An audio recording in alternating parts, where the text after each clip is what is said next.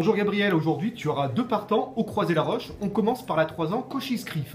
Que peux-tu nous dire sur ses chances? Écoutez, euh, Sébastien m'a c'est un cheval qui a, il a des moyens, mais il est vraiment pas simple à partir.